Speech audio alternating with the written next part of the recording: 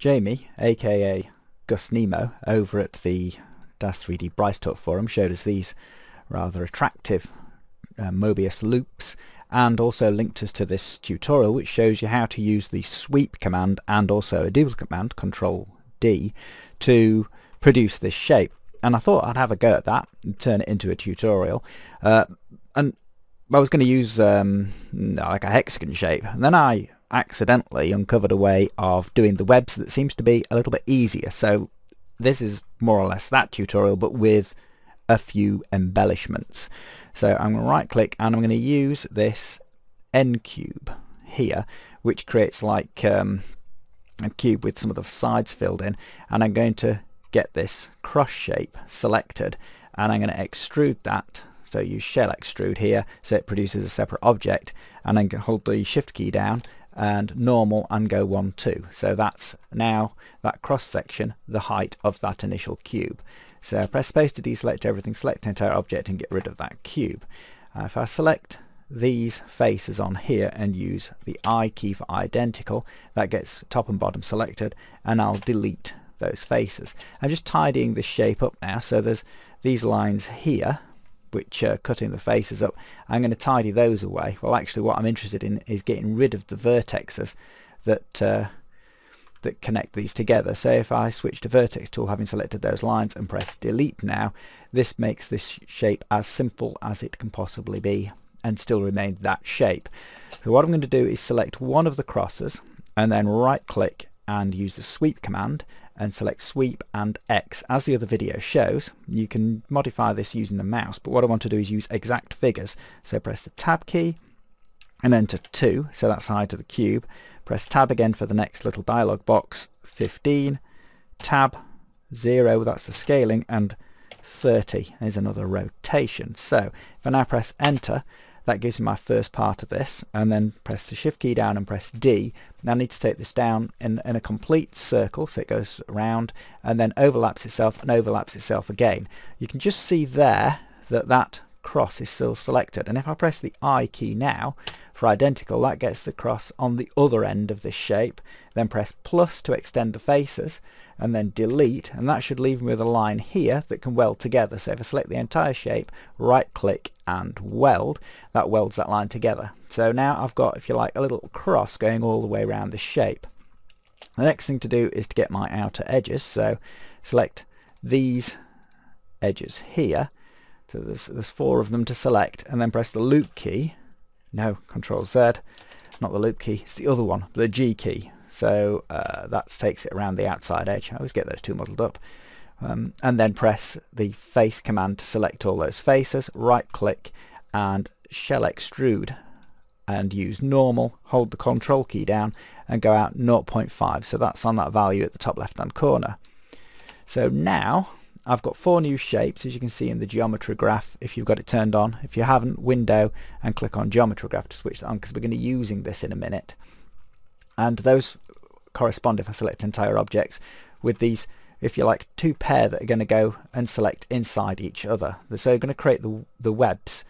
But before I do that what I'm going to do is I'm just going to make them invisible and work on this shape. So edge tool here and select one of these outer edges, it doesn't matter, like that, and press uh, G so it goes all the way around the object, and then press L so and press it a few times to make sure the loop links up all the way around it, right click and loop cut and that'll cut it into loads of separate segments and then I'm going to select every other segment like so and then I want to bring back in, make visible the outer edges so that's one and I want to try and find its opposite one. So that's the one that's going to appear inside there. So I'll try that one. That's not it. That one. That's it. Right click and weld this entire shape together. Once that's welded together you can see it's selected here. I can make that disappear and then switch the other two that were turned off on. So that's the corresponding shape that's going to fit inside it. Select the entire object um, sweep everything in and weld that together.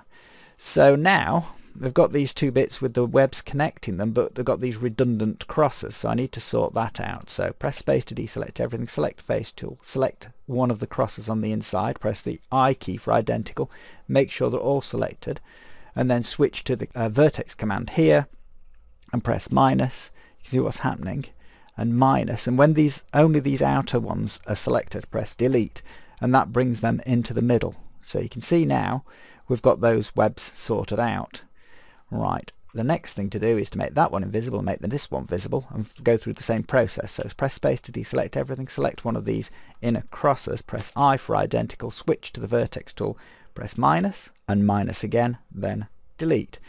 So now, when I make both objects, oops, not invisible, but visible, you can see they interlock with one another. So if I select them both in turn and press smooth, so that's just the S key, smooth, and smooth again, I have now got the same kind of interlocking Mobius strip shape. Uh, it's turned out slightly differently because of using the cross, but uh, you, you, know you could experiment with this. You could probably produce other shapes, and I've already done a hexagonal one, so that's like three sections joining joining together um, by starting with uh, a different shape, uh, which is, is quite well. I suppose I could I suppose I could go through it again. So if you wanted to get this far, you don't need to watch the rest of this video. I'm just going to do it again with a different shape. So I'll just file, export, object, and uh,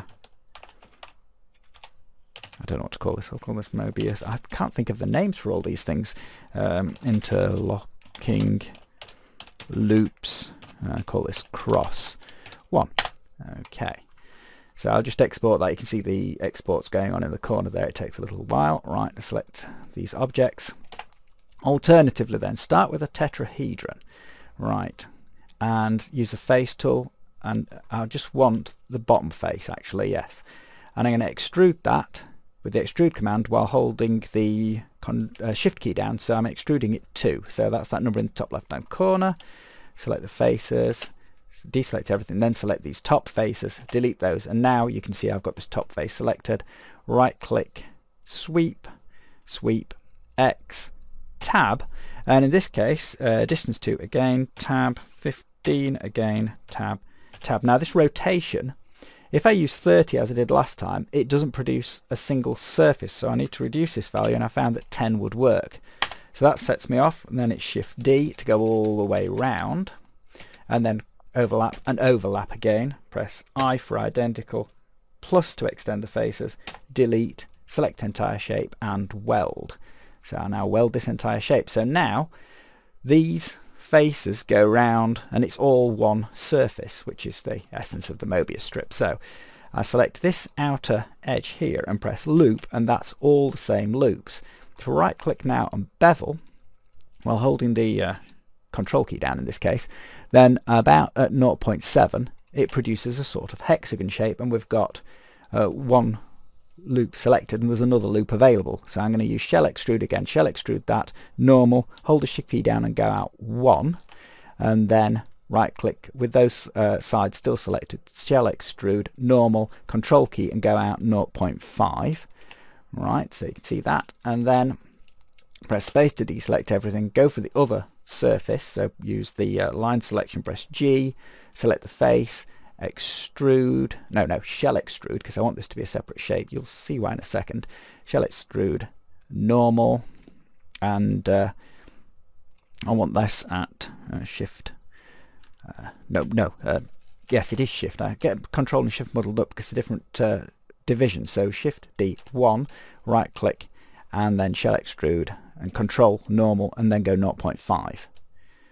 So just watching that and selecting that 0.5. So now use this shape um, uh, complete shape selection tool. You'll see that I've selected both the outer edges but the outer edges loop back on one another. So they, they loop around a few times and I'm just gonna now they're selected here in the uh, geometry graph make them invisible. And you can see we've got this this other shape in the middle. I just select that entire shape and uh, weld it together so that's formed, if you like, an asterisk instead of a cross. That's the best description. I'm going to use the edge selection tool as I did before. Select one of these edges, press G to take it around the entire shape, and then press loop a couple of times or three until it's formed complete loops and can chop it up using loop cut into separate segments. You can see where this is going now, hopefully. Select every other separate segment and then switch on one of the missing loops which happily and conveniently being all one loop because of the number of times the rotation twist put in. So with the cube you could probably set the rotation so to only form two outer loops instead of four to connect, much as this has in terms of creating three out of six.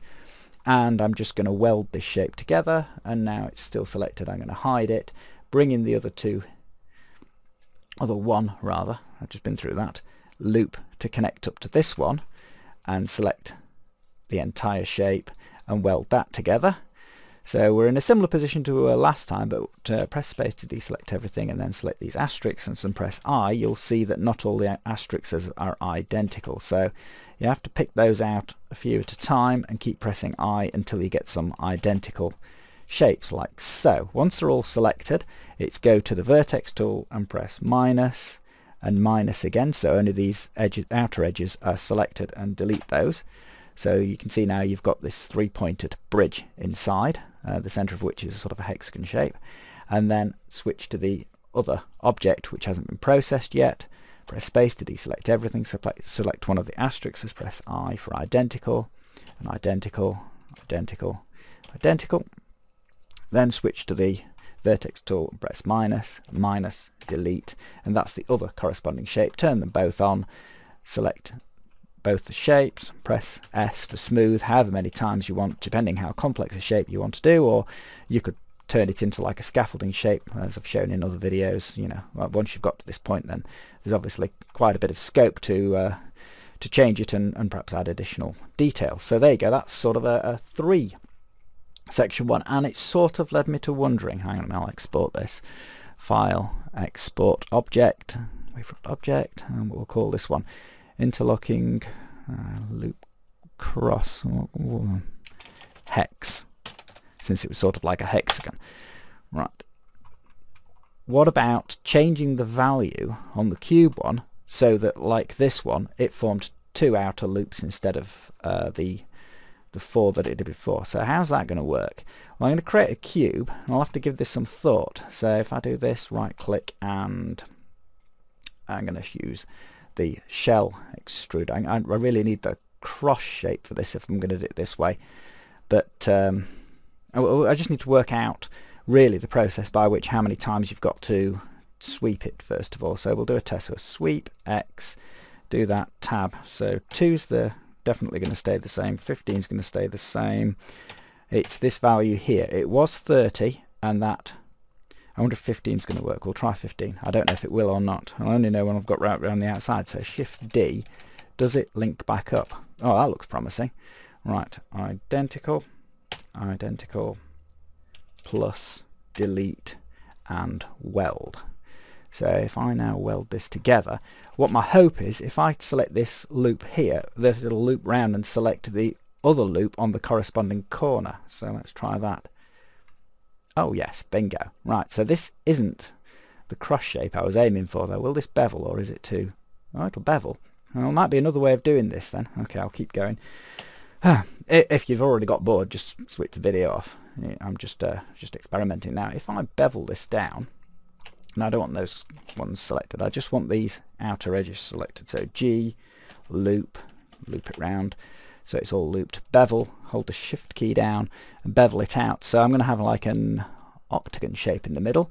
I should have should have like a cross being generated from that. That's created me four on the outside. So if I just select one of these, G, and select faces like so, right, is that going to give me a corresponding one to link to? I think it will.